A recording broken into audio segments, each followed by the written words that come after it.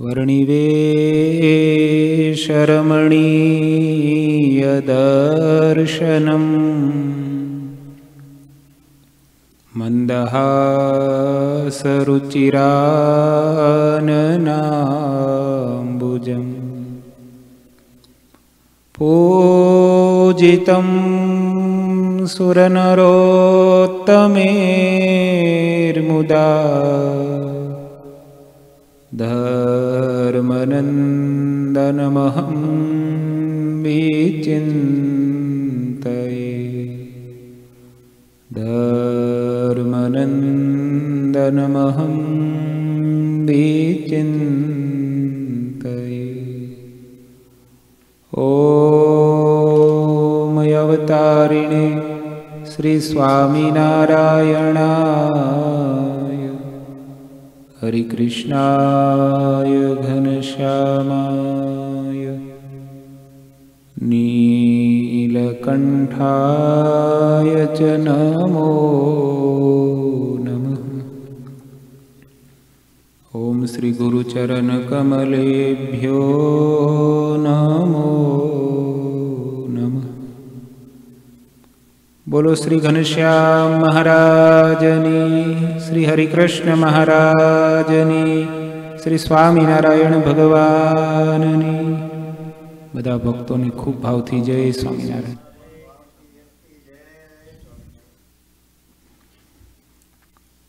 વાલા ભક્તો, શ્રી હરિચરિત્રામુદ સાગર, પૂર, દસ અને તરંગ બે સુધીની કથા આપણે ગઈકાલે સાંભળી. ગઈકાલની કથાના જે સાર હતા એ બધા ભક્તોએ મંતવ્ય રૂપે આપ્યા. સત્સંગ કરવાનું ફળ ભગવાનને ભગવાનના ભક્તોમાં. અતિશય સ્નેહ થાય. એ સત્સંગ કર્યાનું ફળ છે. ભગવાનના સુખના લોભી એવા મનુષ્ય જગતની અંદર દુર્લભ છે. એ મળવા એ અતિ મહાન છે.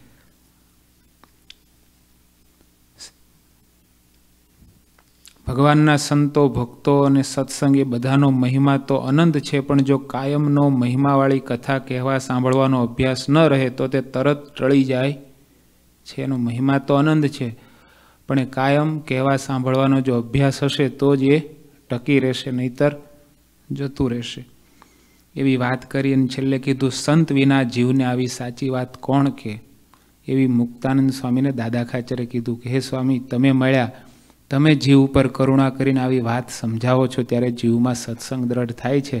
બાકી જીવને તો આ વસ્તુ એકવાર સાંભળે કંઈ જીવમાં દ્રઢ થતી નથી, પણ આવા સંતો આવી વાત કરે છે ત્યારે જીવમાંથી કસર ટળે છે. જગતનું પ્રધાનપણું ઘટે છે અને સત્સંગનું પ્રધાનપણું જીવમાં દ્રઢ થાય છે. એવી વાત આવી હતી. હવે તરંગ ત્રીજાનો પ્રારંભ થાય છે. संत हरि जन जनहि जीतने। धर्मवंशी सब जे मुक्त मुनि की बात सुनी। थकित भये सब ते। मुक्त मुनि की बात सुनी। થકિત ભયે સબતે. સંતો અને હરિભક્તો તથા બધા ધર્મવંશીઓ જે બેઠા હતા, સદગુરુ મુક્તાનંદ સ્વામી જે આ વાતો કરે છે, સાંભળે છે. સંતો, હરિભક્તો, ધર્મવંશીઓ દાદા ખાચરની સાથે બેસીને બધાય સદગુરુ મુક્તાનંદ સ્વામીના મુખ્ય બધી વાતો સાંભળે છે. સ્વામીએ જ્યારે આ રીતે સત્સંગની અલૌકિકતા, સત્સંગની દુર્લભતા એ બધી વાતો કરી, ત્યારે બધાએના અંતરમાં સ્વામીની વાતો સાંભળીને બધાએ આશ્ચર્યચકિત થઈ ગયા ઓહો આવી સત્સંગની દુર્લભતા, આવી મહાનતા, સત્સંગનું ફળ, આ બધું તો આ સ્વામીના મુખે સાંભળ્યું. આનાથી બધાના અંતરમાં અહોભાવ થયો સત્સંગ પ્રત્યેનો. જે પોતાને જે પ્રાપ્તિ થઈ, એનો એને અંતરમાં કેફ ચડ્યો. ઘણીવાર વસ્તુ મળી હોય, પણ એની ઓળખાણ ન હોય, ત્યાં સુધી એનો કેફ એનું સુખ જીવને આવતું નથી. પાસે જ પડ્યું હોય, હીરો હીરા, હીરાનું આખું પેકેટ હોય આપણી પાસે પણ આપણને ખબર છે તો ખોટા છે તો. એનું કોઈ સુખ આવે. પણ કોઈ કેક ભાઈ આ તો સાચા છે ને એક મિલિયન ડોલરના છે તો. તો એનું કેવું આમ કેફ ચડી જાય ને પાવર આવી જાય. એમ સત્સંગ તો મળ્યો જ હોય. આવતા હોય, બાપ દાદાનો હોય કે કરતા હોય કે હવે ક્યારેક વીકેન્ડમાં કે અથવા તો સમયા પ્રસંગે આવીને જતા હોય પણ જ્યાં સુધી સત્સંગ જીવથી નથી થતો, એવા સત્પુરુષ મળતા નથી, એનો સમાગમ નથી કરતા, ત્યાં સુધી એનો જે કેફ એનો જે ઉત્સાહ, એનો ઉમંગ એ જીવમાં આવતો. સ્વામીએ જ્યારે સત્સંગના આવા મહિમાની, સત્સંગની દુર્લભતાની વાતો કરી, ત્યારે સાંભળીને સભામાં બેઠેલા તમામના અંતરમાં બધા આશ્ચર્યચકિત થઈ ગયા ઓહો! શ્રી હરિના વિયોગનું દુઃખ તો સૌને ઉપર જેમ આકાશ તૂટી પડે, તેમ અપાર થયું હતું. તે દુઃખનું મુક્તાનંદ સ્વામીએ નિવારણ કર્યું. બધાયના અંતરમાં ભગવાનના વિયોગનું દુઃખ કેવું હતું? તો જેમ આકાશ તૂટી પડે, કહેતા તમામ દુઃખનો સાગર એ કાર્ય માથે આવે, એ કેવું દુઃખ લાગે બસ એવું બધાને ભગવાનના વિયોગનું દુઃખ હતું. પણ સ્વામીના મુખે જે વાતો સાંભળી, સત્સંગની અલૌકિકતા, દિવ્યતા, દુર્લભતા એની જ્યારે વાતો સાંભળી, ત્યારે બધાના અંતરમાં એ દુઃખ વિસરાઈ ગયું. હરિચરિત્ર રૂપ જો અમૃત વૃષ્ટિ સો કરન લગે ઉપાયન તે વિન કો મુક્ત મુનિ સો દેખત ભયેવું સ્વામી કહે છે શ્રી હરિના વિયોગનું દુઃખ બધા હરિભક્તોને જે થયું હતું તે પુષ્કળ વરસાદ મુક્તાનંદ સ્વામીને તે સમયે બીજો કોઈ ઉપાય સૂજ્યો નહીં. તેથી શ્રીહરિના ચરિત્રરૂપી અમૃતની વૃષ્ટિ કરવા લાગ્યા. જે બધા સભામાં બેઠેલા ભક્તો, સંતો ધર્મવંશી બધાને જે ભગવાનના વિયોગનું દુઃખ હતું, એ ટાળવા માટે સ્વામીને વિચાર થયો કે ભગવાનના ચરિત્ર સમાન બીજું કોઈ આનો ઉપાય નથી. ભગવાનના ચરિત્રો કેવા છે તો કે ભગવાનના ચરિત્રરૂપી અમૃતની વૃષ્ટિ કરવા લાગ્યા. જેમ વરસાદ પડ્યો ના હોય, દુકાળ હોય તો બધા એમ કેવા દુઃખી દુઃખી જીવો હોય ને? ખાવા મળતું ના હોય, પાણી વિના બધા પશુ પંખીઓ મરતા હોય, માણસોને માંડ માંડ ફાફા પડતા હોય અને એવા સમયમાં વરસાદ વરસે તો કેવો આનંદ થાય? એમ ભક્તોના અંતરમાં ભગવાનનો વિયોગ હતો, ત્યારે સદગુરુ મુક્તાનંદ સ્વામીને થયું કે આમાં આનો એક જ ઉપાય છે, ભગવાનના ચરિત્રોના રૂપી અમૃતની જો વૃષ્ટિ થાય, તો આ બધાના અંતરમાં શોક છે એ ટળી જાય. એમ જાણીને સદગુરુ મુક્તાનંદ સ્વામીએ મહારાજના ચરિત્રો બધાએ ભક્તોને, સંતોને કહેવા લાગ્યા. શ્રીહરિના વિયોગનું દુઃખ બધા હરિભક્તોને જે થયું હતું તે પુષ્કળ વરસાદ થવાથી જેમ દાવાનળ બુજાઈ જાય છે, તેમ બધું મટી ગયું. સ્વામીના મુખે મહારાજના ચરિત્રો સાંભળતા બધાના અંતરમાં એ દુઃખ દૂર થયું, અંતરમાં શાંતિ થઈ. ગઢપુરના એભલ ખાચર, એભલ ખાચરના દરબારમાં શ્રીહરિ જેટલા દિવસ રહ્યા અને તેના પરિવારને જે અતિશય સુખ આપ્યું હતું, તે શ્રીહરિનું સુખ જે રીતે તેમણે લીધું, તે કહી શકાતું નથી. શ્રીહરિની સેવામાં સૌને જેવી અને જેટલી અભિલાષા હતી, તેટલી અને તેવી સેવા કરીને તેમણે સુખ લીધું. મહારાજે, ગઢપુરમાં એભલ ખાચરનો પરિવાર એટલે દાદા ખાચર, લાડુબા, જીવુબા, આ બધાએ જે હેબલ ખાચરનો પરિવાર હતો એને મહારાજે અતિશય સુખ આપ્યું હતું. શ્રીહરિનું જે સુખ એમણે લીધું એ કહી શકાતું નથી. એવો એણે અમાપ ભગવાનનો લાભ લીધો. ભગવાનની સેવા, ભગવાનની પૂજા, સંતો, ભક્તોની સેવા કરી. મોટા મોટા ઉત્સવ સમયાઓ કર્યા. મહારાજની નિત્ય અનુવૃત્તિમાં રહીને ભગવાનની પ્રગટ સેવા કરી. ભગવાનની કથા વાર્તા ભગવાનના દર્શન એ સંતો ભક્તો કાયમ એના દરબારગઢમાં કાયમ નિત્ય નિવાસ કરીને રહે. એ તો કેટલો મહિમા, કેટલી શ્રદ્ધાને કેટલી ભક્તિ હોય ત્યારે શક્ય બને. બાકી એક દિવસે પાંચ સંતોને રાખવા હોય તોય કઠણ પડે. સામાન્ય કોઈ સગા સંબંધીને રાખવા હોય તો સહેલું, પણ જો સંતો એક જ દિવસ આવવાના હોય તો અઠવાડિયાથી બધી તૈયારી કરવી પડે. ત્યારે એ સરખું થાય. પણ એ દાદા ખાચર એભલ ખાચર, એનો આખો જે પરિવાર, એની કેવી શ્રદ્ધા હશે, કેવી ભક્તિ હશે, કે ક્યારેય ક્યારેય મંદ જ ના પડી. કોઈ વસ્તુ અતિ મળે ત્યાર પછી, એનો પછી, એનો એવો મહિમા કાયમ રહેવો બહુ મોટી વાત છે. બહુ આપણને કોઈ પણ વસ્તુ બહુ ભાવતી હોય ને બહુ ગમતી હોય તો કેટલા દિવસ આપણને આમાં અહોભાવ લાગે? એક દાડા, બે દાડા પછી તો ગમે એટલા કોઈ આપણના સગા સંબંધી હોય આપણા દેહના, બહુ એમાં હેત હોય અને આપણે એને બહુ આગ્રહ કરીને બોલાવતા હોય ને આવ્યા હોય અને રે એક દિવસ અઠવાડિયું દસ દી, પંદર દી પછી દેહ આપણે બહુ એકદમ અંગત રિલેટિવને ફાઇલ કરીને ઇન્ડિયાથી બોલાવ્યો કે ના, તમે પહેલાં ના પાડતા હોય તોય આપણે કીધું કે ના, આવો ના આવો, અહીંયા તમારે બધા વેલ સેટ થશો ને છોકરાઓ સુખી થશે ને આમ થશે ને પહેલાં કે ના, અમારે અહીંયા બહુ સારું છે. પણ ના, અમારે તમને બોલાવા જ છે. આવો એમ કરીને બોલાવ્યા હોય ને કેટલું કાગળિયા કરીને એને કરીને પૂરું થયું નહીં આવ્યા હોય અને આપણે પાસે રાખીએ આપણી ભેગા. પણ કેટલા દિવસ? પછી તો એમ થાય કે હવે એને કંઈક સેટ કરી દઈએ ને બહાર જાય. પણ એ એભલ ખાચર, દાદા ખાચર, લાડુબા, જીવબા એને કેવું ભગવાનમાં હેત હશે, કેવું સંતો ભક્તોમાં એને હેત હશે કે મહારાજ ઓગણત્રીસ ઓગણત્રીસ વર્ષ સુધી નિત્ય ત્યાં પોતાનું ઘર કરીને રહ્યા. પાંચસો પરમહંસો મોટા હરિભક્તોના સંઘો આવે, એની કાયમ આગતા સ્વાગતા. એટલે ઘર એનું ઘર ના રહે, પછી તો આખો મંદિર જ ભગવાન પરાયણ જ. ભગવાને એને પોતાનું ઘર રહેવા ના દીધું. કાયમ ઘરો બદલાવ્યા, એક જગ્યાએથી બીજી જગ્યાએ બીજીથી ત્રીજે. તો એને ક્યારેય અભાવ ના આવ્યો એવું નહીં. આમ રંચ માત્ર એના ઉત્સાહમાં, ઉમંગમાં ફેર ના પડ્યો. કાયમ ભગવાનને રાજી કરવાનો નિત્ય નવો નવો ઉત્સાહ મહારાજને ના પાડવી પડે. કે તમારી શક્તિ પ્રમાણે આપણે ઉત્સવ માપમાં કરો જે. પણ લાડુબા, જીવબા, દાદા ખાચર, એને ક્યારેય મંદપણું એના અંતરમાં, ઉત્સાહમાં ક્યારેય ન્યૂનતા આવી જ નહીં. અને ભગવાન તો એના અંતરના ભાવને જાણતા હોય, જોતા હોય, એનો નિત્ય નવો નવો ઉત્સાહ ઉમંગ હોય, તો જ ભગવાન ત્યાં રહી શકે. બાકી ભગવાન રહે નહીં. અને મહારાજે પણ એમને એવું સુખ આપ્યું કે અહીંયા લખે છે સ્વામી, કે એ કહી શકાતું નથી. એવું એને અલૌકિક સુખ ભગવાને આપ્યું એણે ભગવાનની એવી સેવા કરી. આગળ કહે છે, તેહિ હિત જનુ હરી લીએ અવતારા, એસો સુખ દિયે અનંત હિવારા તેહિ હિત જનુ હરી લીએ અવતારા एष सुख दिये अनन्त हि वारा।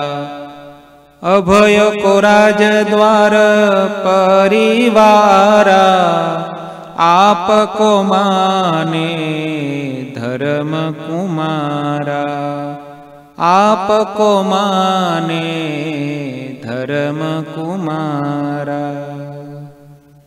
માનો શ્રીયરીએ તે અભલ ખાચરના પરિવારને માટે જ અવતાર લીધો હોય. કોકને એમ લાગે કે જાણે ભગવાન એમના પરિવાર માટે જ આ લોકમાં આવ્યા હશે શું? અને એમની ભક્તિ એવી હતી એની નિષ્ઠા એવી હતી એનો સત્સંગ એવો હતો. એનું સમર્પણ એવું હતું કાયમ નિત્ય નવો નવો ઉત્સાહ રાખવો એમ બહુ બહુ મોટી વાત છે. એમને ભેગા રહીને પાછો મહિમા રાખવો. દૂરથી તો સારું લાગે. પણ ભેગા રહ્યા પછી પણ કાયમ નવો નવો ઉત્સાહ અને ઉમંગ રહેવો બહુ મોટી વાત અને મહારાજ પણ એને પછી એનું જ્યારે એવી ભક્તિ હતી, ભગવાનને ન ગમે એવો એકેય સ્વભાવ એણે જીવમાં નહોતો રાખ્યો. ભગવાન કેમ રાજી થાય? મહારાજના મોટા સત્પુરુષો કેમ રાજી થાય? એ પરાયણને જીવનો કરી દીધેલા. પોતાના કોઈ સુખ નહીં, પોતાની કોઈ ઈચ્છા નહીં. ભગવાનની ઈચ્છા એ જ એનું જીવન, ભગવાનનું સુખ એ જ એનું સુખ. આવું એણે જીવન કરી દીધેલું. અને મહારાજે પણ એમને એવું સુખ આપ્યું કે આધારાનંદ સ્વામી લખે છે અને સદગુરુ મુક્તાનંદ સ્વામી કહે છે, માનો શ્રીહરિએ તે અભલ ખાચરના પરિવારને માટે જ અવતાર લીધો હોય. કોઈને એમ લાગે, જાણે આ પરિવાર માટે જ ભગવાન આવ્યા હશે આ લોકમાં શું? ભક્તિ એવી હતી. તેમ તે સૌને એવું અનંત વાર સુખ આપ્યું. એમ એભલ ખાચરના આખાય પરિવારને ભગવાને એવું અનંત વાર સુખ આપ્યું. ધર્મકુમાર શ્રીએરીએ અભલ ખાચરના રાજ દરબારને તથા બધા પરિવારને પોતાનો જ માન્યો હતો. એવું નહોતું કે અમે દાદા ખાચરના દરબારમાં રહ્યા છીએ. આ અમારા જ દરબારમાં રહ્યા છે અમારું જ છે એમ માનીને ભગવાન રહેતા હતા. અને તો જ ભગવાનને જ્યારે જેમ કેવું હોય ને ઘર ખાલી કરાવીને બીજે મૂકવા હોય તો મૂકી શકે અને ફરજામાં મેહાડવા હોય તોય મોકલી શકે અડધી રાતે. એ ભગવાને પોતાનું માન્યું હોય તો જ થઈ શકે અને દાદા ખાચરને મુખની રેખાય ના ફરે એણે એણે પણ એમ જ માન્યું કે ભગવાનનું છે, તો જ એવું થાય ને. બાકી એમ થાય કે હવે અમારું આટલું બધું આપ્યું ને એક ઘર, એક એક ઓરડી તો આપી દો અમને બસ, તમે જે કહો તે એક આપી દો, બસ બસ, ફેરવશો નહીં. તમે જે કહો ત્યાં અમે ફરજામાં કહેશો તો ફરજામાં રહેશું, પણ એકવાર એક જગ્યા બતાવી દો, તો ત્યાં અમે સુખે રહીએ એમ. પણ તોય ભગવાને જ્યારે જ્યાં મૂક્યા ત્યાં રહ્યા, અને તો જ ભગવાન ત્યાં રહે ને. પોતાનું એને, ભગવાને બધું બધું પોતાનું માન્યું. આખો પરિવાર રાજ, દરબાર બધું જાણે ભગવાનનું જ હોય, ભગવાન એમ માનીને ત્યાં રહેતા હતા. અને શ્રીહરિએ જ્યાં સુધીમાં તેમનો ગામ ગરાસ કહેવાતો હતો, ત્યાં સુધી સૌમાં મમતા કરી હતી. ભગવાન તો નિર્બંધ છે, એને કોઈ બાંધી ન શકે. પણ તોય ભગવાન એના પરિવારના ભક્તોમાં તો બંધાય એટલું નહીં, પણ જ્યાં સુધી એમનો ગામ ગરાસ હતો, એની ખેતી બીજા ગામડાઓ, બાર કે અઢાર ગામનું રાજ હતું. એનો ગરાસ કહેવાતો. તો એ ત્યાં સુધી બધે જગ્યાએ ભગવાને મમતા કરી દીધી હતી કે આ મારું છે એમ. મમતા કોને કહેવાય? પોતાપણાની ભાવના. ભગવાને મમતા કરી દીધી કે મારું આ, લો. સુંદર શ્યામ છબીલે છેલે, ગઢડું ઘેલું કીધું રે. ગઢડું મારું, હું ગઢડાનો. નથી કે દી મટવાનું રે. સુંદર શ્યામ છબીલે છેલે. ગઢડું ઘેલું કીધું રે. મહારાજે દાદા ખાચર, એભલ ખાચર, એનો જે ગરાસ હતો, જ્યાં સુધી એની જમીનો હતી એ બધું ભગવાને બધામાં પોતે મમતા કરી હતી. જેને મમતા હોય એને ચિંતા હોય. મમતા જ ન હોય તેને કોઈ ચિંતા હોય. બાજુવાળાનું કંઈક થાય તો આપણને ચિંતા હોય. અને આપણામાં થોડુંક જ ઘરમાં કંઈક થોડુંક તકલીફ થઈને બારીનો દરવાજાનો, શું કહેવાય, બારીનો કાચ તૂટી ગયો હોય તોય તરત આપણને ચિંતા થાય કે બારીનો કાચ હરખો કરવો પડશે, નહીંતર ઠંડી અંદર પહેરી જશે. પણ બાજુવાળાને ઘરમાં કંઈક દરવાજો તૂટે ને રૂફે તૂટે તોય આપણને ચિંતા થાય. એમ મમત ભગવાન સ્વામિનારાયણે જેટલું કંઈ દાદા ખાચર, એબલ ખાચરનું હતું, ગરાસ, જમીનો દરબારગઢ, એ બધામાં ભગવાને મમત મમત્વ બાંધી દીધું કે મારું છે. ભગવાન દાદા ખાચરની બીડની એક જમીન હતી. જ્યાં કોઈ ખેતી થાય જ નહીં, બીડ એટલે આમ જ્યાં ખાલી પશુઓ ચરે. બીજું કંઈ ત્યાં કંઈ ઉપજાવ કંઈ ખેતી થાય જ નહીં. મહારાજને થયું કે આટલી મોટી જમીન એમનામ પડી છે. મહારાજે બધા પાર્ષદો, સંતો, હરિભક્તોને બધાને એવું કહેવાય છે, પંદર દી મહિનો સુધી ત્યાં જ ધામા નાખ્યા મહારાજે. સવારે ઉઠીને ત્યાં પહોંચી જવાનું હાજે આવવાનું. મહારાજે પોતે ત્યાં અને બધું પાર્ષદો, સંતો, ભક્તો પાસે બધું બીડ ખેડાવ્યું અને ત્યાં જમીન કરીને ત્યાં વાવણી કરાવડાવી. અને મહારાજ ત્યાં જ વાતો કરે ને ત્યાં જ બધાને જમવાનું આપે. અને મહારાજ પોતે કરતા ને મહારાજ રાજીપો કરીને બધાને ભેટતા. હવે કોઈ જો તેમ થાય કે આટલું બધું ભગવાન તો આખું જગત જેને તૃણવત બધું આવું ગણે છે ને અહીંયા તો આટલું બધું કરે છે. પણ એ ભગવાન, જ્યારે એણે સર્વસ્વ ભગવાનને અર્પણ કર્યું હતું પોતાનું કંઈ રાખ્યું નથી, ત્યારે ભગવાન એનું તમામ કાર્યની ચિંતા ભગવાન કરે છે. જેટલો જે આગળ લખે છે. શ્રી હરિ જીવા ખાચરનો ગામ ગરાસ જોઈને તેમને તેમને કહીને તેમના જેટલો જ ગરાસ એભલ ખાચરને પણ કરી દીધો. બાકી જીવા ખાચર મોટી ડેલી એમ, એનું એનું એ થોડા મોટા કહેવાતા, એનો થોડો મોટો ગરાસ. પણ મહારાજે જીવા ખાચરને કહીને એને જેટલું હતું ને એટલું ને એટલું ભગવાને આમનું પણ કરી દીધું. વાડીઓ અને ખેતર વગેરે પણ જીવા ખાચરના જેટલા જ કરી દીધા. જેટલી વાડી અમને હતી, ખેતી હતી, કૂવા હતા, એટલું ભગવાને દાદા એબલ ખાચરનું દાદા ખાચરનું એટલું જ કરી દીધું. આ તો ચિંતા હોય, મમત હોય, તો જ થાય, એમને આમ તો થાય નહીં. શ્રીહરિની આવી રીત જોઈને જીવા ખાચર પણ દિન પ્રતિદિન વધારે પ્રેમ કરવા લાગ્યા. આપણે જીવા ખાચરની જે ઈર્ષાઓની વાત કરીએ છીએ પછી થયું હતું પણ અત્યારે તો એને ભગવાન પ્રત્યે ભાવ હતો. ભગવાન આટલું એભલ ખાચર એમનો પરિવાર, દાદા ખાચર, આ બધાનું આટલું રાખે છે, એ જોઈને એને પણ જીવા ખાચર પણ દિન પ્રતિદિન વધારે પ્રેમ કરવા લાગી આવી રીત જોઈને કે, ઓહો જે ભગવાનને અનંત કોટી બ્રહ્માંડ જેની નજરમાં નથી, એ ભગવાન એક પોતાના ભક્તની કેવી સંભાળ લે છે. એમ જાણીને એને ભાવ થયો, અહોભાવ થયો, ભગવાનમાં પ્રીતિ વધી ગઈ. દિન પ્રતિદિન વધારે પ્રેમ કરવા લાગ્યા. જીવા ખાચર પણ મહારાજ પ્રત્યે ઓહો મહારાજને ધન્ય છે.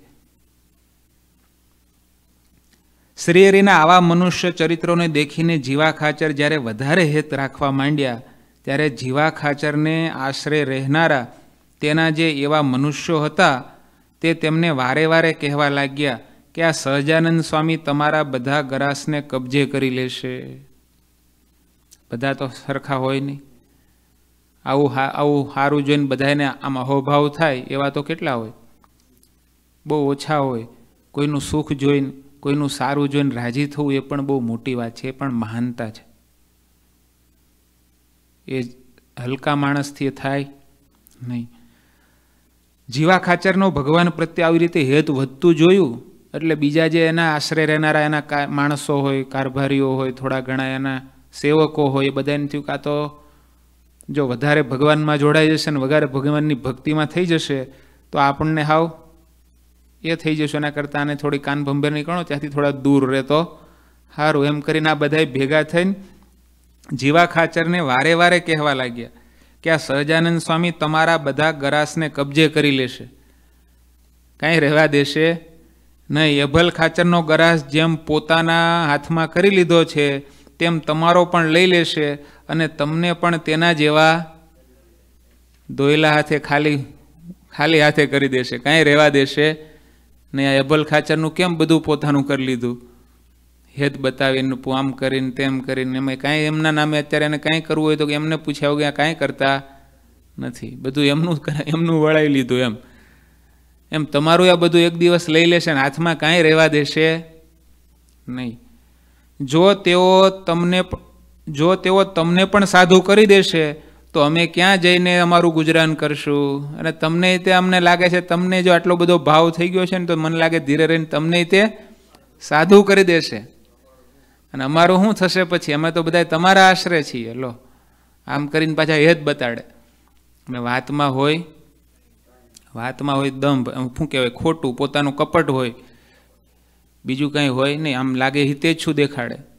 પણ હિતેચ્છું હોય નહીં કે સ્વીટ પોઈઝન એમ. ઉપરથી આપણને લાગે આપણી પ્રત્યે બહુ ભાવ કેટલો છે એમ, હેત કેટલું છે, પણ હેત ના હોય આપણને અમુક આ આપણી પ્રાપ્તિથી આપણને છોડાવવા માટે, આપણને દૂર કરવા માટેના કુસંગીના આવા શબ્દો હોય. અને પછી આગળ પાછા કહે છે, પરદેશીનો વધારે વિશ્વાસ કરાય. આ કંઈ થોડા આપણા અહીંના એ છે, નાતના કે હગા હગા હોય તોય દયા આવે. આને શું દયા હોય? કાલ ઉઠીને બધું આપણું લઈ લેશે. કાંઈ રહેવા દેશે. અને બહુ પરદેશીનો જાજો વિશ્વાસ કરાય. આ તો પૂરબ્યા. અમે હિતની વાત કહીએ છીએ, તેને તમે તમારા મનમાં માનો. અમે તમારા હિતની વાત કરીએ. અમારે તો બીજું કાંઈ નથી. આ તમારું બધું લઈ લેશે ને તમને અમને લાગે છે સાદું કરી દેશે. અને બધું તમારું એ લઈ લેશે. માટે આ તો અમે તમારા, અમારે તમારા ઉપર દયા આવે છે એટલે તમારા હિતની વાત કરીએ છીએ. લો, હવે આવી હિતની વાત. એને કંઈ હિત હતું નહીં. જીવા ખાચરે તે વાત પહેલાં તો સાંભળી. પણ થોડી વાર પછી તેમને, પહેલાં થોડી વાર તો કાંઈ ના કીધું, પણ પછી, અને વાલા ભક્તો મારે ને તમારે આપણા જીવનમાં પણ જ્યારે મહારાજ સત્સંગ આપણા જીવનમાં પહેલાં આપણે શરૂઆતમાં હોય ત્યારે જે બધાને બહુ એના આપણા સગાવાલા કે મિત્રો બધાને પહેલાં કદાચ સારું લાગે. બહુ એટલું બધું ના કે, પણ જો આપણે સત્સંગ આપણો દ્રઢ થતો જાય, સત્સંગ પ્રધાન થતો જાય, ભગવાન સંતો ભક્તોમાં હેત વધી જાય, અને આપણને બહુ જગતમાં આપણને પછી બહુ એટલું બધું ના લાગે ને ત્યાર પછી એ લોકોને વધારે દ્વેષ જાગે અને પછી આપણને સત્સંગ પ્રત્યેના ભગવાન પ્રત્યેના મોટા પુરુષો, એના પ્રત્યેના ખોટા શબ્દો આપણા ઉપર આવે જ. એમ આપણે બધાને અનુભવ થયા હશે. જ્યારે સત્સંગમાં ના હોય સત્સંગમાં આવ્યા હોય અથવા તો આવ્યા જેમ જેમ આપણે આગળ વધતા હોય, એમ પછી લોકો તરફથી આવા શબ્દો દરેકને આવે. વધતા ઓછા પ્રમાણમાં. પણ એમાં જો આપણને મીઠું લાગે, આપણને સારું લાગે, અથવા તો આપણે એને કંઈ કહીએ નહીં હાયા કરીએ, તો એક દિવસ આપણને એના જેવા કરી મૂકે. માટે એવી વાતથી સદા સાવધાન રહેવું પડે. હવે જીવા ખાચર, આટલી વાત સાંભળી, પણ જીવા ખાચર અત્યારે તો સજાગ હતા. મહારાજમાં એને સાચું હેત હતું ત્યારે. એટલે એણે થોડી વાર પહેલાં સાંભળ્યું, કંઈ કીધું નહીં, પણ પછી શું કીધું? તે લોકોને રજા આપી દીધી અને કહ્યું કે તમે તમારે ઘેર જઈને બેસો અને તમારું ઘર સંભાળો. મને એની વાત, મને બહુ હિતની વાત કરવા આવશો. નહીં, મારું હિત કેમાં રહ્યું છે? મારે શું કરવું, મારે શું ના કરવું એ મને ખબર છે. તમે બહુ, તમે તમારું ઘર સંભાળો કે અહીંથી ચાલ્યા જાઓ. મને તમારી વાત સાંભળવા મારે તમારી વાત સાંભળવી નથી. જો આપણે એની વાતમાં હાયા કરીએ અને માથું હલાવીએ, તો એ તો પછી એક, પછી બીજું, બીજા પછી ત્રીજું, એ તો પાયા, એનું પછી એમ થાય કે અહીંયા તો હાલશે આપણું. હારા સાંભળે છે. એમ કરતાં કરતાં એ બીજું નાખે ને ત્રીજું નાખે. આપણને સત્સંગથી ભગવાનથી દૂર કરી મૂકે. પણ અહીંયા જીવા ખાચરે એને તરત કહી દીધું. અને મહારાજ પણ પંચાળાના પાંચમા વચનાવૃતમાં મહારાજે કીધું, ક્યાં માન રાખવું ને ક્યાં ન રાખવું?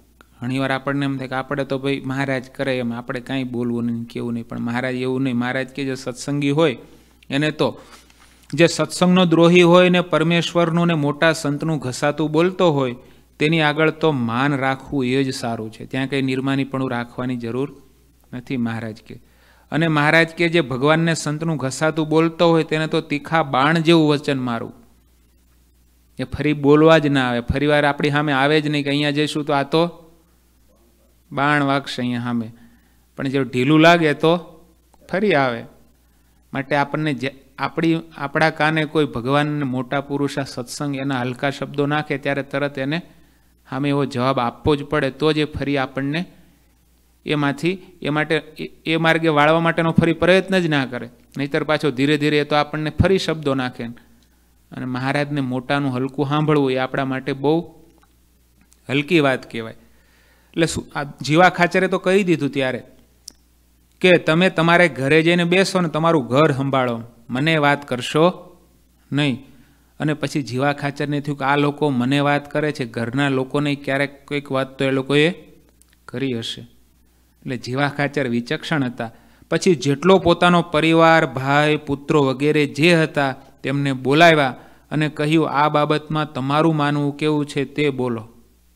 પછી એણે થયું કે, આનો અત્યારે આપણે પાકો નિવેડો કરી દેવો જોઈએ પાકો દ્રઢાવ એક બાબતનો કરવો પડશે, નહીંતર આ આ લોકો તો ઘરના જ હોય બધા કારીગરો, માણસો, કોઈ કારભારીઓ. એને આ વાત ઘરમાં માણસો સાથે ક્યારેક કરે, તો આપણે બધાએ ભેગા થઈને એક દ્રઢાવ તો કરવો જ પડે.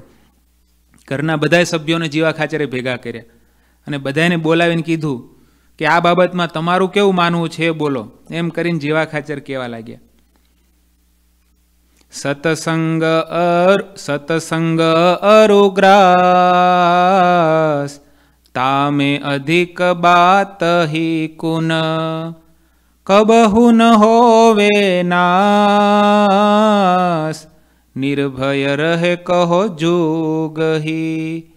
નિર્ભય રહે કહો જુગહી જુગ. જીવા ખાચર પરિવારના બધા સભ્યોને ભેગા કરીને વાત કરે છે કે એક બાજુ સત્સંગ છે ને બીજું બાજુ ગરાસ છે. તે બેમાં અધિક કોણ? તે કહો.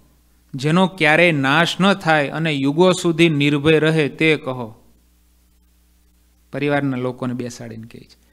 અને પૂર્વે પ્રહલાદજી, પ્રિયવ્રત, ધ્રુવ અને પાંડવો એ બધા મોટા રાજાઓ થઈ ગયા. જે બધા કેવા હતા?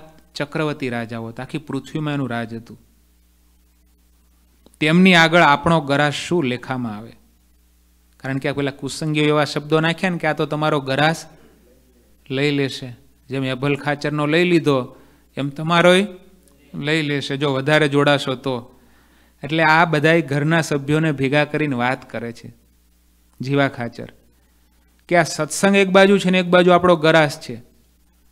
એ બેમાં અધિક કોણ અને યુગો યુગો સુધી કોણ રહેશે? સત્સંગ રહેશે, નિર્ભય કોણ છે? પૂર્વે પ્રહલાદ, પ્રિવ્રત, ધ્રુવ પાંડવ એ બધા મોટા રાજાઓ થઈ ગયા. એની આગળ આપણો ગરાસ શું લેખામાં આવે? એ ગણતરીમાંય ના આવે, નજરમાંય ના આવે એની સામે તો.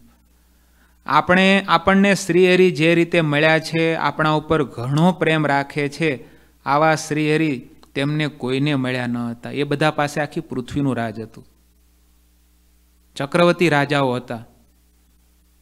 પણ આપણને જે મહારાજ મળ્યા છે, આપણા ઉપર જે મહારાજ સામેથી આટલો પ્રેમ રાખે છે, આપણને પોતાના જાણીને આપણા હિતની વાતો કરે છે, આપણને મહારાજને સત્સંગના માર્ગે નિત્ય આગળ વધારે છે.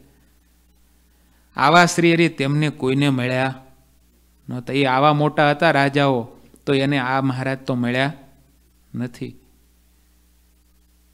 તે બધાને તો નારદજીનો જ યોગ થયો હતો.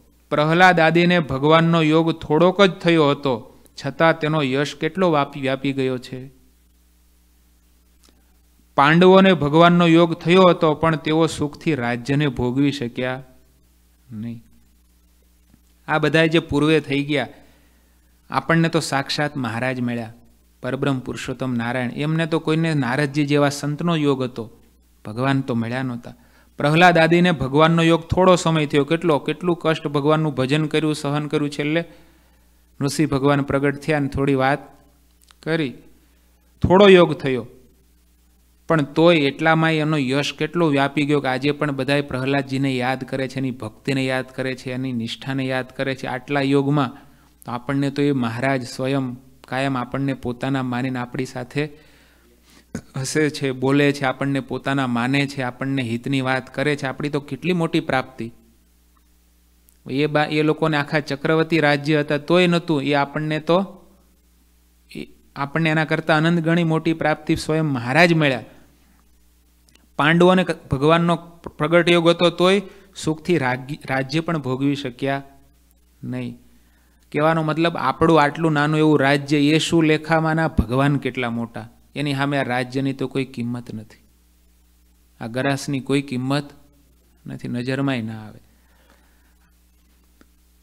સતસંગ આગે ગ્રાસ કુન લેખા, એસે જોત તબ આવત દેખા. અનંત બ્રહ્માંડ કે ગ્રાસ હિ જીતના સતસંગ રખે મેં આવત તીતના સત્સંગની આગળ ગામ ગરા શું લેખામાં? આવું આગળ પાછળનું જોઈએ ત્યારે સમજાય છે, અનંત બ્રહ્માંડના રાજ્ય જેવું સુખ તો સત્સંગને રાખવાથી મળે છે.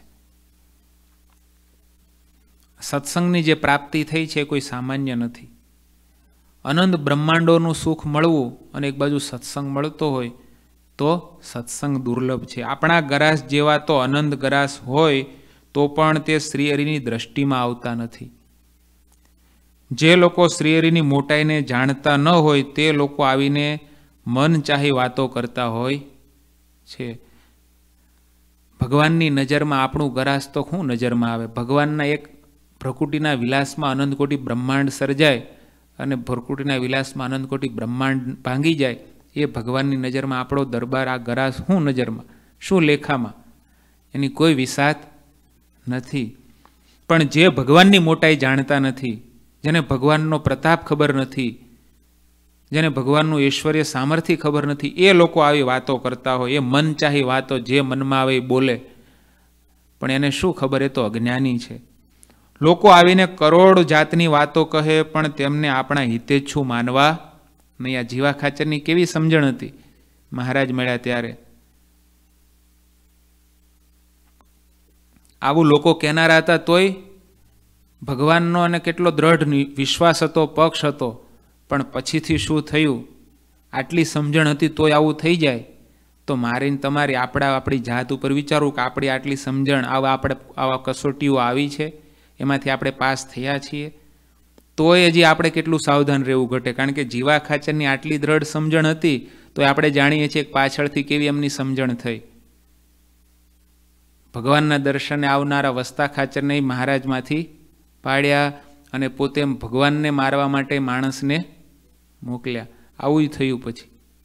અને અત્યારે કેટલી સમજ, આ સમજણ જ્યારે હતી ત્યારે તો કોઈ ખોટી નહોતી ને, સાચી જ હતી ને. આપણને બધાને પણ એ સાંભળી વાંચીને પ્રેરણા મળે એવી જ સમજણ છે ને. પણ આવી સમજણી જો દ્રઢ હોય, તો એના ઉપર ભય છે. તો મારે તમારે આપણે કેટલું સાવધાન રહેવું પડે? કારણ કે હાથે હાથમાં આવેલી બાજી જો જતી રહે, તો પછી બહુ મોટું દુઃખ થાય. જેવા ખાચર કે લોકો આવીને કરોડ જાતની વાત કહે, પણ તેમને આપણા હિતેચ્છુ માનવા નહીં આ મહારાજ, આ સત્સંગ, આ સંતો, ભક્તો સિવાયની કોઈ પણ વાત કરે, એને આપણા હિતેચ્છું માનવા જ નહીં. એને તો એમ જ માનવું કે આપણા છુપા દુશ્મનો છે. ઉપરથી મીઠું બોલે છે, પણ અંતરથી તો દુશ્મન છે. આમ માનશું તો જ એનાથી દૂર બચાશે. બાકી આપણને આ મહારાજને સત્સંગ છોડાવી દેશે. તે લોકો પોતાનું હિત ચાહતા હોય છે. એને કંઈ આપણું હિત પડ્યું હતું? પોતાનો સ્વાર્થ હોય એમાં આપણને આપણું હિત બતાવે. આપણું દેખાડે આપણું હિત, આપણા પ્રત્યે ભાવ બતાવે, પણ હોય એનો સ્વાર્થ જીવનો. સહુ પોતપોતાનો સ્વાર્થ સાધવામાં કુશળ હોય છે. કે કેમ કરીને આપણો સ્વાર્થ અહીંયા સર આ મોટા માણસ ગામ ધણી આટલો ગરાય આપણે યારે હેતપ્રીતને આપણે યારે રહે તો આપણું કામ થતું રહે. પણ હાવ એના થઈ જશે તો આપણું તો હામું જોશે નહીં. એમ માણસોને પોતાના સ્વાર્થમાં બીજાને હિત દેખાડે, પણ એમાં હિત એનું ના હોય, પોતાનું હિત સ્વાર્થ એનું જે થવું હોય તે આપણું થાય તો કામનું, એમ કરીને એને ભગવાનથી સત્સંગથી દૂર કરે. એવા સત્સંગમાં કેટલાય પૂર્વે પ્રસંગો બન્યા છે ને આજે બનતા હોય. આપણા ઉપર કેટલા એવા પ્રયાસો થયા હોય. પણ એમાં જેણે ભગવાનને સત્સંગને આવી સમજણ રાખીને દ્રઢ રાખ્યો હોય કે આ મહારાજ, આ સત્સંગ, આ મોટા સત્પુરુષને આ દિવ્ય માહોલ જે મળ્યો છે, એનાથી પર મારા માટે આ જગતનું બધું મળે તો એ મારા માટે શું કામનું? જો આ મહારાજ છૂટતા હોય, આ સત્સંગ છૂટતો હોય, આ મોટા સત્પુરુષ, આ સંતો, ભક્તોનો સમાગમ છૂટે અને બીજું આખી દુનિયાનું સુખ મળે તો એ મારે શું કામનું? અને એક બાજુ આપણી પાસે છે એ જતું રહે અને આ મહારાજ, આ સત્સંગ મોટા સત્પુરુષ એ આપણી ભેગા હશે, એનો રાજીપો હશે તો બધુંય છે. એવી આપણા જીવમાં દ્રઢતા હોય તો જ એ વસ્તુ ટકે. નહીતર એવા પ્રસંગો જ્યારે આપણી ઉપર બને, ત્યારે આપણને પણ એક વાર ના મનાય, બે વાર ના મનાય, પાંચ વાર, પચી વાર થાય એટલે આપણને હા પડી જાય કે ઓહો, આને કેટલો ભાવ છે. અને મારા હિતની વાત કરે છે. અને હંમેશા કુસંગી એવા જ હોય કે જે આપણને પાડવાવાળા એવા જ હોય કે આપણને આપણા પ્રત્યે હેત બતાવે. આપણને એમ લાગે અમારા હિતે કંઈ સીધું એમ ના કે આ બધું હું લઈ માંડ્યા આમને તેમને એમને આપણા હિતને એમ કે તમારું આમ તો જોતા જ નથી. તમે આટલું કરો છો, આટલું ઘસાવો છો તો એ તમારું તો કોઈ તમને કોઈ પૂછતું નથી. આમ કરીને આપણને આપણી પ્રત્યે હેત દર્શાવે, પણ એ વાસ્તવિકમાં આપણું હેત હિત હોતું નથી. એમાં તો દુઃખ હોય છે. લોકો આપણા હિતેચ્છુ કહેવાય, પણ ખરેખર તેઓ આપણા હિત શત્રુઓ છે. જીવા ખાચર પોતાના પરિવારના સભ્યોને બેહાડીને વાત કરે છે. એટલે આના પરથી એ પણ જાણવું પડે કે જે પરિવારના આગેવાન હોય સમજવું હોય અને પોતાના પરિવારના, પોતાની સાથે રહેલા, એ બધાના પણ સત્સંગની ચિંતા રાખવી ઘટે ક્યાં? એવું સમય આવે, એવું વાતાવરણ આવે તો તરત એની સેફટી વિચારી લેવી પડે કે આ ભગવાનના સત્સંગ આપણાથી છૂટી ના જાય. આ ભગવાનના મોટા સત્પુરુષો સંતો, ભક્તોનો સંગ આપણાથી છૂટી ના જાય. પરિવારના સભ્યો એમાં આમાંથી કઈ જગ્યાએ પાછા ના પડે, તો એનું પ્રોટેક્શન ઘરના આગેવાને કરવું પડે. જેમ અહીંયા જીવા ખાચર પોતાના પરિવારના બધાય સભ્યોને ભેગા કરીને વાત કરે છે. કે લોકો આપણા હિતેચ્છુ કહેવાય, પણ ખરેખર તેઓ આપણા હિત શત્રુઓ છે. આપણા હિતના દુશ્મનો છે, કે આપણું પરમ હિત આ ભગવાનના સંતોના ભક્તોના સાનિધ્યમાં છે, આ સત્સંગમાં છે, અને એ આપણને એમાંથી દૂર કરવા લઈ જાય છે, માટે આપણા હિતના શત્રુઓ છે, કે હિતનો નાશ કરનારા છે, માટે એને ક્યારેય હિતેચ્છુ સમજવા નહીં. તેમની વાતને લગારેય સાંભળવી નહીં, જીવા ખાચર કહે છે. હિતેચ્છુ થઈને કહેવા આવે ત્યારે ઉપરથી ઠીક એમ કહેવું, પણ મનમાં તો તે બધા લોકોને શત્રુ જેવા જાણવા અને ભગવાનની સાથે જ, અને ભગવાનની સાથે જ ઘણો સ્નેહ રાખવો.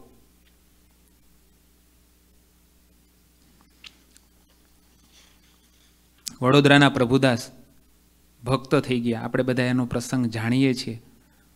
નાથ ભક્તના યોગે પ્રભુદાસને ભગવાન સ્વામિનારાયણનો સત્સંગ થયો મહારાજનું મહિમા સમજાણો, ભગવાનના એકાંતિક ભક્ત થઈ આખા પરિવારમાં એમના ઘરેથી એના દીકરાને બધાને સત્સંગ દ્રઢ થયો. સમય જતા મહારાજની આજ્ઞા ઉપાસના પાળે છે, ભગવાનનું ભજન કરે છે. એમનો એક, એકનો એક યુવાન દીકરો, સત્તર અઢાર વર્ષની ઉંમર હશે, યુવાન દીકરો. અને મહારાજને કરવું, મહારાજ અને આમ આમ તો પ્રભુદાસ તો ભગવાન નાથ ભક્તના યોગે અને સંતોના સમાગમે કરીને દ્રઢ મહિમાવાળા થયેલા. અને મહારાજે એક દિવસ મુક્તો અને સંતોને લઈને મહારાજ, જ્યાં વડોદરામાં પ્રભુદાસની પોળ હતી, ત્યાં મહારાજ આવ્યા અને આખી પોળના લોકોને દર્શન થયા.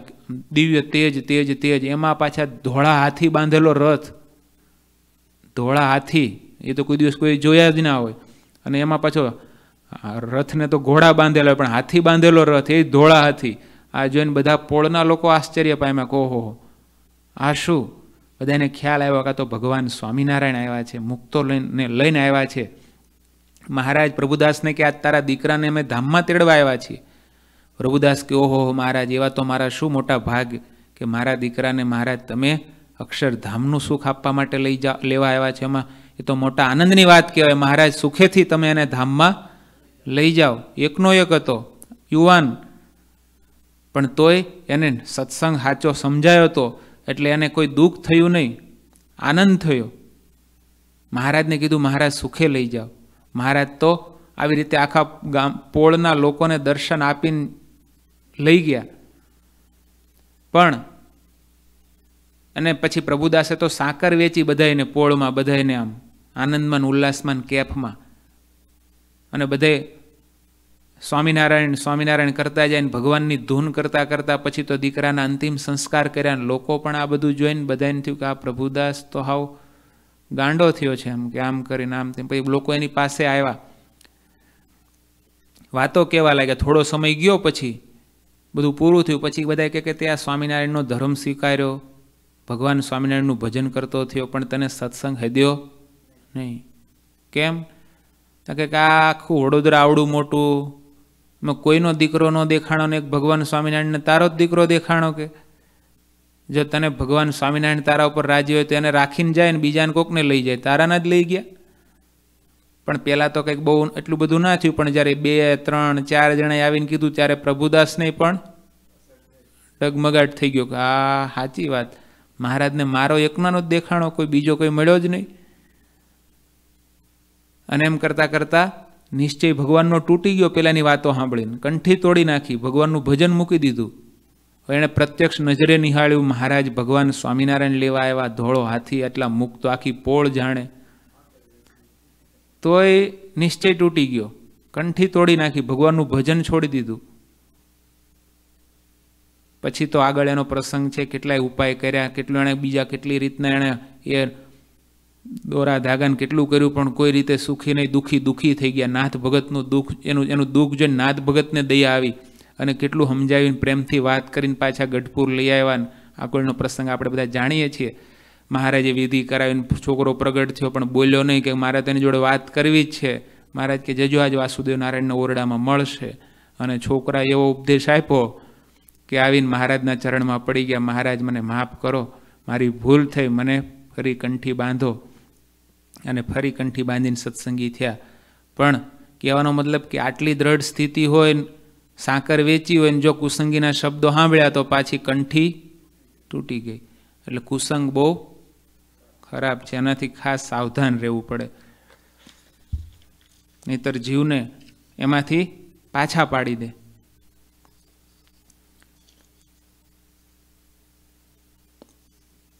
એટલે દાદા, જીવા ખાચર પોતાના પરિવારના સભ્યોને કહે છે, પણ મનમાં તો તે બધા લોકોને શત્રુ જેવા જાણવા અને ભગવાનની સાથે જ ઘણો સ્નેહ રાખવો. જ્યારે આપણું અપાર ભાગ્ય હોય, ત્યારે જ ભગવાન શ્રીહરિ આપણને પોતાના માને. આ મહારાજ આપણને મળ્યા, આપણને પોતાના માને છે, તો બહુ મોટા ભાગ્ય છે. એનાથી મોટી શું પ્રાપ્તિ? આખા બ્રહ્માંડનું રાજ હોય, પણ આ ભગવાન ના મળ્યા હોય તો શું કામનું? શ્રીહરિએ એકવાર મને કહ્યું, તમે જેવા મારા છો, તે રીતે જ બધા પરિવારને પણ મારા થઈને રહેવું.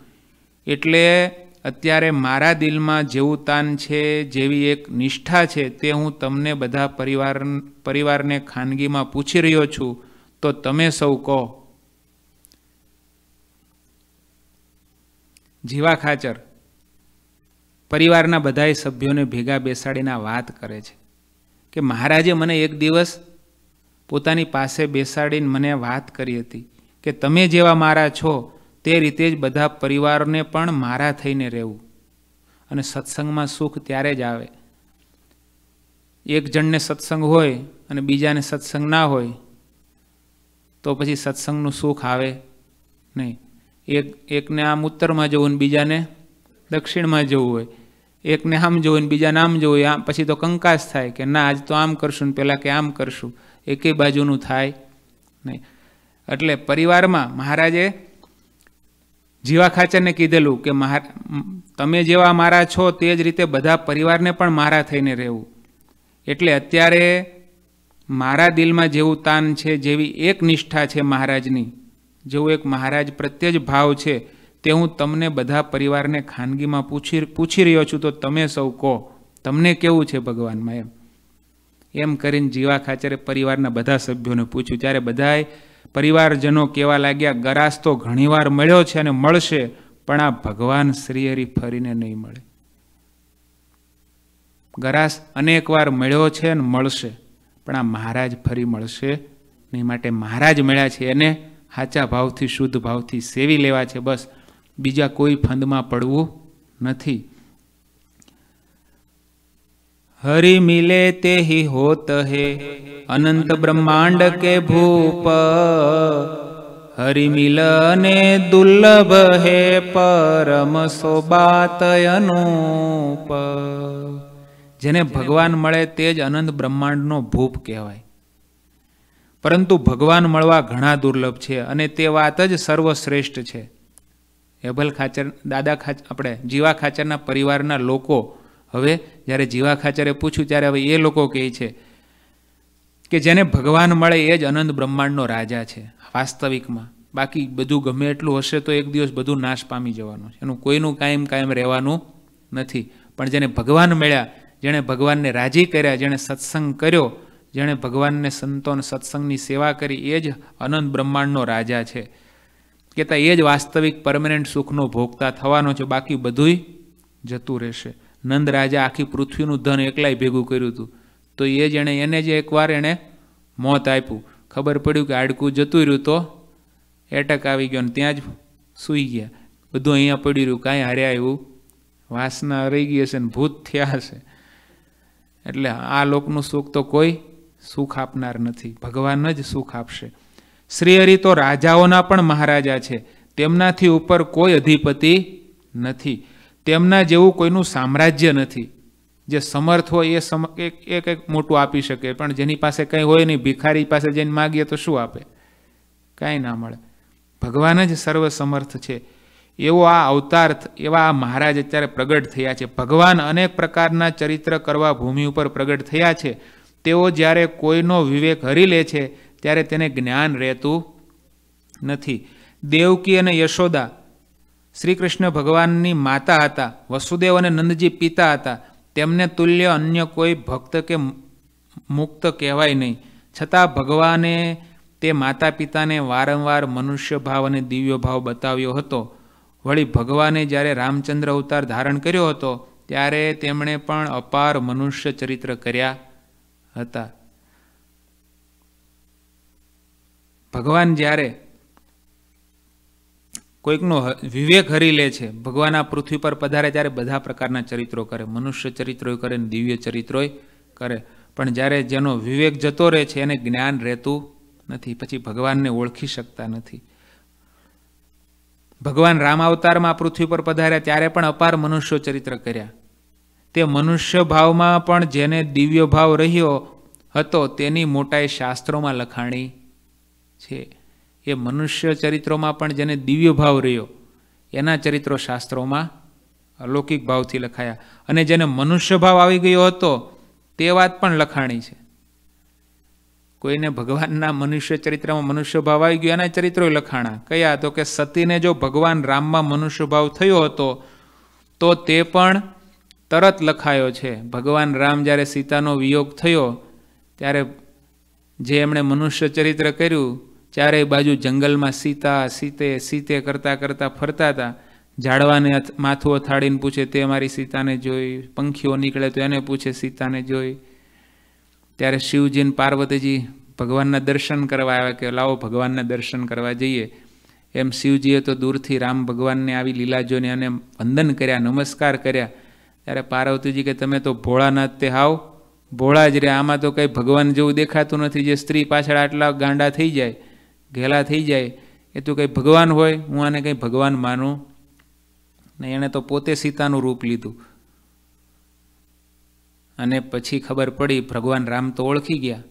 એણે કીધું કે તમે પાર્વતી, શું કહેવાય, મહાદેવને મૂકીને આ એકલા ક્યાં વનમાં રખડો છો? એકલા ક્યાં અહીંયા પધાર્યા? ત્યારે પાર્વતીજીને શરમ આવીને પાર્વતીજી પછી શિવજી પાસે આવ્યા, મને માફ કરો. ત્યારે પછી શિવજીએ પણ પાર્વતીજીનો ત્યાગ કર્યો કારણ કે તમે માતા સીતાનું રૂપ લીધું માટે હવે હું તમને સ્વીકારી શકું નહીં. ત્યારે એને અપાર દુઃખ આવ્યું. શિવજીથી પણ દૂર થવું પડ્યું ને ભગવાનમાં જો મનુષ્ય ભાવ આવ્યો તો પછી કેટલાય યુગો પછી માંડ શિવજી પાછા ભેગા થયા. એટલે એના ચરિત્રોય લખાયા અને શિવજી ઘણા સમર્થ કહેવાય. ભગવાનના અનન્ય ભક્ત ગણાય. છતાં તેઓ બાણાસુરનો પક્ષ લઈને ભગવાનની સાથે યુદ્ધ કરવા તૈયાર થયા. શિવજી ભગવાનના અનન્ય ભક્ત કહેવાય. સમર્થ કહેવાય. પણ એમણે પણ બાણાસુર હારે જ્યારે ભગવાન યુદ્ધ કરવા ગયા કૃષ્ણ ભગવાન, ત્યારે શિવજી એનો પક્ષ લીધો. એની કથા બહુ લાંબી છે, ભાગવતજીમાં આવે છે. બાણાસુર એ બળી રાજાના જે સો પુત્ર હતા, એમાંનો મોટો પુત્ર હતો. એણે શિવજીનો ભગત હતો. સાધના કરીને, તપ કરીને શિવજીથી વર માગેલો, મહાબળ માગેલું અને સો હજાર હાથ માગેલા. અને પછી તો એવો પાવર શક્તિમાં મદમાં આવ્યો કે બધાને હેરાન પરેશાન કરતો અને શિવજી આરે યુદ્ધ કરવા આવ્યો પાછો. એનો એ જ, શિવજી પાસેથી યુદ્ધ એ લીધું. અને શિવજીને ક્રોધ આવ્યો કે, જા તારો, ભગવાન તને મારનાર, ભગવાન પ્રગટી ચૂક્યા છે. અને તારી, તારા મેલની ધજા પડશે ત્યારે તારો અંધકાળ આવ્યો, સમજે, સમજજે. અને પછી તો એની એક દીકરી હતી, એનું નામ હતું ઉષા. એને રાત્રે સ્વપ્ન આવ્યું અને સ્વપ્નમાં એને કોઈ પુરુષ દેખાડો ને એમાં બહુ હેત થઈ ગયું. સપનું પૂરું થયું. હવે તો એને પેલા પુરુષને જ કુદ્યું જોયેલો નહીં, સ્વપ્નમાં જ જોયેલો, પણ એને મળવાની ઈચ્છા મળે કેમ? એની જે સખી હતી, ચિત્રલેખા કરીને, એને બધી વાત કરીને એ પછી યોગમાયાવાળી, એટલે આણે એનું એ પેલું રૂપ બોલતી ગઈ, એવું આણે ચિત્ર દોર્યું તો કે હા આ જ મેં જોયો હતો તો કે આ તો ભગવાન શ્રી કૃષ્ણનો પૌત્ર, અનિરુદ્ધ શું કહેવાય, અનિરુદ્ધ પ્રદ્યુમ્નનો છોકરો. ભગવાન શ્રી કૃષ્ણના દીકરા પ્રદ્યુમ્ન એનો છોકરો અનિરુદ્ધ છે. કે મારે એને જોઈએ છે, મને એને મેળવી આપ. તો પેલી એની જે સખી હતી ચિત્રલેખા, એણે યોગ માયા કરીને ઠેઠ દ્વારકા પહોંચીને ત્યાં પેલા અનિરુદ્ધનો પલંગ હોતો એને ઉપાડ્યો ને સીધો આના આના મેલમાં લાવી દીધો. પછી તો બે જણા ભેગા રહ્યા. એ બેને અહીંયા ચાર મહિના પૂરા થઈ ગયા આ બાજુ. અને આ બાજુ દ્વારકામાં બધા અનિરુદ્ધને હોદે ગયો ક્યાં? એની ભાળ મેળવે, પણ કઈ જગ્યાએ દેખાય નહીં. નારદજી આવ્યા, એણે બધી વાત કરી કાં તો ત્યાં પહોંચ્યા છે. એટલે ભગવાન શ્રી કૃષ્ણ બલરામને આખી યુદ્ધની મોટી અક્ષરણી સેના લઈને એની સામે યુદ્ધ કરવા ગયા. અને પછી તો હામામે યુદ્ધ થયા. અને પેલો તો બાણાસુર તો ભગવાન શિવજીનો ભગત હતો. એટલે એણે ભગવાનને પ્રાર્થના કરી. શિવજીને એટલે શિવજી એના પક્ષે રહીને ભગવાન સામે લડ્યા. ઘણું યુદ્ધ ચાલ્યું, દ્વંદ્વ યુદ્ધ. પછી ભગવાન શ્રી કૃષ્ણે કીધું કે આ તો પૃથ્વીના માટે ભારરૂપ છે. તમે, હું એને મારનાર નથી. હું એને હાવ મારીશ નહીં કારણ કે એના પિતા કોણ હતા? પ્રહલાદજી. એને મેં વચન આપ્યું છે કે તારા વંશને હું નહીં મારું. મેં એના નવસો છન્નું હાથ કાપી નાખ્યા છે, ચાર હાથ રાખ્યા છે અને હવે એને આગળ એની શક્તિ બધી જતી રહી છે. હવે એને હું નહીં મારું એમ કરીને પછી શિવજીને મોકલ્યા. ત્યારે શિવજી ગયા, પણ શિવજી તોય ભગવાન સામે લડવા તૈયાર થઈ ગયા. એ કીધું ને કેવા હતા? પરમ ભક્ત કહેવાય, સમર્થ કહેવાય, પણ છતાં તેણે બાણાસુરનો પક્ષ લઈને ભગવાનની સાથે યુદ્ધ કરવા તૈયાર થયા. એટલે બહુ અઘરું છે. મનુ, આપણી મતિ એક રહેવી દરેક પરિસ્થિતિમાં. ભગવાનને મોટામાં એટલે કીધું ને, નિસ્તર્કપણે. ભગવાનને સંત જેમ કેમ વિના સંશય માનવું, એ જ કલ્યાણનો હેતુ મહારાજ વચનાવતમાં કીધું. એ ખરખું રાખવું એ બહુ મોટી વાત છે. લક્ષ્મણના જેવું કોઈ સમર્થ નહીં, પણ તેઓ થોડીવાર રાવણની ગાદી ઉપર બેઠા, ત્યારે રામચંદ્રજીના ઉપર જુદી જ જાતની ભાવના થઈ ગઈ હતી. આ કથા પછી છે મોટ. રામ, લક્ષ્મણજી તો કેવા સેવક કહેવાય. ચૌદ વર્ષ જેણે રામની ખડે પગે જાગીને એક પણ વાર ઊંઘ લીધા વિના સેવા કરી, દાસ ભાવે સેવા કરી પણ જ્યારે રાવણને મારીને પછી વિભીષણને ગાદી આપવાની હતી, એ કથા કેમાં આવે છે નથી ખબર, પણ અહીંયા લખી છે એટલે એ જ હશે. અને ઘણા કથાકારો કહે છે કે જ્યારે વિભીષણને ગાદી આપવાની હતી, ત્યારે ગાદી આપવા માટે, એનો રાજ્યાભિષેક કરવા માટે કોણ જાય? જો કે ભાઈ રામને તો વનવાસ હતો, એને તો નગરમાં જવાય નહીં, રાજ્યમાં જવાય નહીં. એને તો ચૌદ વર્ષ વનવાસ, પણ લક્ષ્મણજી તો એમની સાથે આવેલા હતા. એમને કોઈ વનવાસ હતો નહીં, પણ એ તો સેવામાં આવેલા. એટલે રામજી, રામ ભગવાને કીધું, તમે જાઓ અને હનુમાનજી વગેરે અંગદ વગેરેની જોડે મોકલ્યા કે તમે એનો રાજ્યાભિષેક કરજો. પણ જોજો, લક્ષ્મણજીને કીધેલું કે ગાદીએ બેસતા નહીં. પછી તો ત્યાં ગયા રાજ્યમાં આવ્યા ને બધું વિભીષણનો રાજ્યાભિષેક કરવાનો હતો ને પછી ગાદીએ બેસાડવાના હતા. ત્યારે વિભીષણ કે કે, પણ મહારાજ, તમે પહેલાં બેસો, પાવન કરો, પછી હું બેસું. બહુ એનો આગ્રહ જોયો ત્યારે ભૂલી ગયા કે ભગવાને શું કીધું અને બેઠા. અને જ્યાં રાવણની ગાદી પર બેઠા ત્યાં લક્ષ્મણજીની પણ બુદ્ધિ ફરી અને એમ થયું કે રામ વચ્ચે, રામની વિશે ખોટો ભાવ કર્યો કે કોણ છે, રામને શું છે, આ તેમ કે એવું બધું બોલવા માંડ્યા. કેવા એટલે એવું કહે છે કે રામચંદ્રજી જેવા, લક્ષ્મણજી જેવા કોઈ સમર્થ નહીં, પણ થોડી વાર જો રાવણની ગાદી ઉપર બેસી ગયા, તો તો રામ પ્રત્યે પણ ભાવના બદલી ગઈ. આવી વાત ઠેક ઠેકાણે લખાય છે, ભગવાન જેવી બુદ્ધિ રાખે, ભગવાન જેની સારી બુદ્ધિ રાખે તે ઉદ્ધવના જેવા એક સરખા રહી શકે છે. ઉદ્ધવ જેવા ભગવાનના ભક્ત થવું, જેને દરેક ભગવાનની લીલામાં એક સરખો અહોભાવ રહેવો હોય તો બહુ મોટી વાત છે. બ્રહ્મા અને ઇન્દ્ર ઘણા સમર્થ હતા, પણ શ્રી કૃષ્ણના ચરિત્રોને દેખીને તેમને પણ અપરંપાર મોહ થઈ ગયો હતો. એ બધા ચરિત્રો આપણે જાણીએ છીએ. મનુષ્ય અને દેવનું શરીર જ એવું છે કે તે રાવણની ગાદી છે. જો સત્સંગનો જોગ ન હોય, તો એક જ દિવસમાં બુદ્ધિ વિપરીત થઈ જાય છે. આ મનુષ્ય દેહ અને દેવનું શરીર, દેવોનું શરીર. જે બધા આગળ દેવોની જ વાત આવી ને બધી આગળ. એ કેવું છે? રાવણની ગાદી જેવું છે. આ મનુષ્ય દેહ છે એ રાવણની ગાદી સમજવાની. એમાં આપણે અત્યારે આવીને બેઠા છીએ એટલે ક્યાં બેઠા છીએ? રાવણની ગાદી ઉપર જ બેઠા છીએ. દેવનું શરીર કો કે મનુષ્યનું શરીર કોઈ રાવણની ગાદી છે ને. એમાં અત્યારે આપણે બેઠા છીએ એટલે આપણને પૂછે, ક્યાં છીએ? તો ક્યાં બેઠા છીએ? એટલે મહારાજ, અહીંયા સ્વામી કહે છે, મનુષ્ય અને દેવનું શરીર જ એવું છે કે તે રાવણની ગાદી છે. જો સત્સંગનો જોગ ન હોય, તો એક જ દિવસમાં બુદ્ધિ વિપરીત થઈ જાય લો આ સત્સંગનો યોગ ના હોય, એવા સત્પુરુષનો યોગ ના હોય, સંતોના કથા વાર્તાનો યોગ ના હોય, તો એક જ દિવસમાં બુદ્ધિ વિપરીત થઈ જાય. આ સ્વામી કહે છે. મને તમને એટલે કહેવાનો મતલબ કે સંત સમાગમ કીજે હો નિશ દિન સંત સમાગમ કીજે. દિવસ રાત સંત સમાગમ કરજો એવું બ્રહ્માનંદ સ્વામી જે આપણે ગોડી નિત્ય ગાઈએ છીએ. એનું કારણ નિત્ય આપણે કથા વાર્તા કરીએ, સાંભળીએ છીએ. એનું કારણ કે આ રાવણની ગાદી પર આપણે બેઠા છીએ અને આપણી બુદ્ધિ ફરી ના જાય અને સતત એક સરખી મહારાજમાં, મોટામાં, સત્સંગમાં નિસ્તર્કપણે રહે અને કાયમ એનો મહિમા વધતો રહે. એટલા માટે જો એક દિવસ પણ સત્સંગનો યોગ ન રહે તો બુદ્ધિ વિપરીત થઈ જાય છે. એટલે સત્સંગનો યોગ નિત્ય રાખવો પડે. જેમ આપણે નિત્ય ખાવા જોઈએ છીએ, નિત્ય કોઈ દિવસ ખાધા વગર ચાલીએ છીએ, કાયમ જ ખાઈએ છીએ, એમ સત્સંગ નિત્ય જોઈએ, રોજનો જોઈએ. એવું નહીં કે એક વીકેન્ડમાં એક દિવસ કર્યો, પછી વીકમાં એકવાર સાંભળી લઈશું. બાકી પાછું કેટલું કામ ઘણાને પૂછે કઈ હા, કથા સાંભળો તો કે હવે સાંજે આમ હોય ને પેલું હોય ને થોડુંક પેલું કામ કરવાનું હોય એમ ઘણા ઘણા અલગ અલગ બહાના બતાવીએ. પણ એ બધા આપણા એક્સક્યુઝ છે અને આપણે ગમે તેમ કરીને બીજા સમયમાં કામ પટા, પતાવીને પણ આગળ પાછળ કરીને સત્સંગ માટેનો ટાઈમ કાઢવો પડે કાઢવો પડે ને કાઢવો પડે. નહીતર શું થાય? આ કીધું એવું થાય. આ મનુષ્ય દેહ તો રાવણની ગાદી છે. જો એક દિવસે સત્સંગ ના થાય તો બુદ્ધિ વિપરીત થઈ જાય. આ સ્વામી બોલે છે. જેટલા સંતો ને હરિભક્તો છે જેવી જેની બુદ્ધિ ક્યારેય ફરી ન હોય, તેમને વારંવાર પગે લાગવું જોઈએ.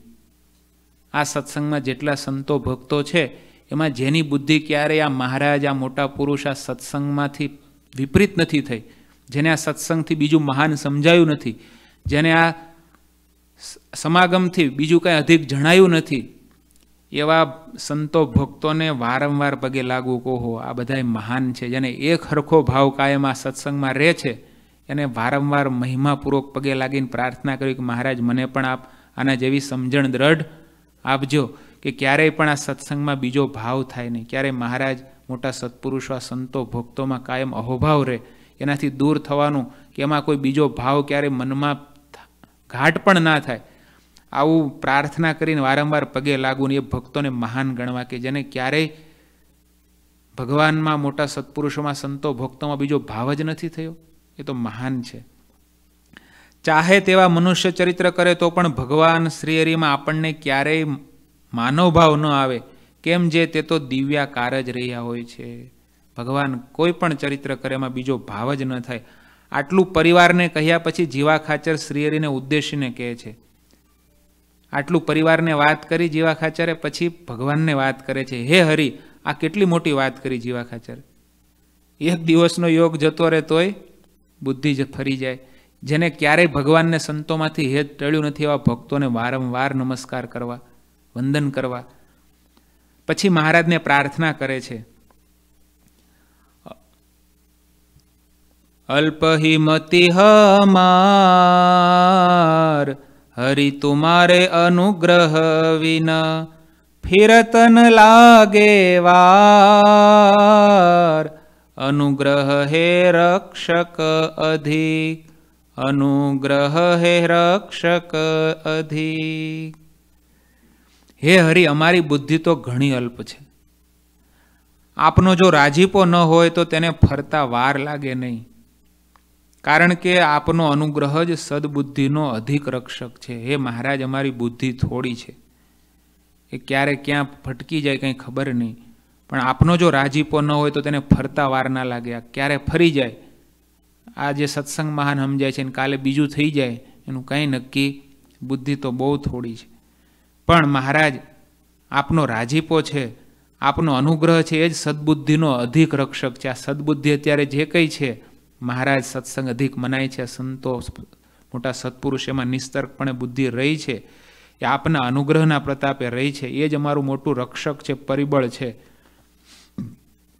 ને ભગવાનને મોટાનો, હૃદયનો રાજીપો છે એ જ આપણને આ સત્સંગમાં નિસ્તર્કપણે ટકાવી રાખે છે. નહીતર સ્વામી ગુણાત્યાન સ્વામી વાતોમાં કહે કે મોટાની જો દ્રષ્ટિ ફરે તો ચાંડાળ જેવું અંતકરણ થઈ જાય. એટલે એની કૃપા દ્રષ્ટિ છે એટલે આપણે આ દેશોમાં રહીને પણ ભગવાનમાં સત્સંગમાં અડગપણે નિશ્ચય, નિસ્તર્કપણે જોડાઈ રહ્યા છીએ. એટલે હંમેશા મહારાજને મોટાના, હૃદયના રાજીપાના પાત્ર બન્યા રહેવું, એના, એની અમી દ્રષ્ટિ આપણા પર હશે તો આપણને આ જે કીધું ને, એક દિવસમાં મનુષ્યનું દેહ રાવણના સિંહાસન જેવું છે, એમાં આપણે આવીને બેઠા છીએ, એક દિવસે જો સત્સંગ ના થાય તો ફરી જાય. એટલે એ મોટાને અનુગ્રહ હશે, મહારાજનો અનુગ્રહ હશે, તો જ આ રાવણના સિંહાસન બેઠા પર, ઉપર બેસીને ભગવાન સુધી પહોંચવાનો આપણો માર્ગ નિર્વિઘ્ને પાર પડશે, નહીતર અઘરું છે. આ સાંભળીને દરબાર જીવા ખાચરના બધા પરિવારે એમ કહ્યું કે, હે દરબાર આપ વારંવાર આવી પ્રાર્થના શ્રી હરિના ચરણોમાં કરતા રહેજો, જેથી કરીને આપણો સત્સંગ આમને આમ પાર પડે, કાયમ એમાં બીજો ભાવ, ક્યારેય બીજો ભાવ ન થાય. ઇતિ શ્રી સહજાનંદ સ્વામી શિષ્ય સિદ્ધાનંદ મુનિ વિરચિત શ્રી હરિચરિતામૃત સાગરના દશમપુરમાં જીવા ખાચરે પોતાના પરિવાર સાથે સત્સંગનો મહિમા વિચાર્યો. એ નામે ત્રીજો તરંગ સમાપ્ત થયો. લો, જીવા ખાચરે પરિવાર સાથે આ રીતે સત્સંગનો મહિમા વિચાર્યો એમ આપણે, મારે તમારે આપણે પણ નિત્ય સત્સંગનો મહિમા વિચારતા રહેવો પડે તો તો જ એ સત્સંગ કાયમ જીવમાં દ્રઢ રહે. બોલો ઘનશ્યામ મહારાજની જય, શ્રીપતિમ શ્રીધરમ સર્વદેવેશ્વરમ. ભક્તિધર્માત્મજમ વાસુદેવમ હરે માધવમ કેશવમ કામદમ કારણમ. સ્વામિનારાયણમ નીલકંઠમ ભજે શ્રી ઘનશ્યામ મહારાજ.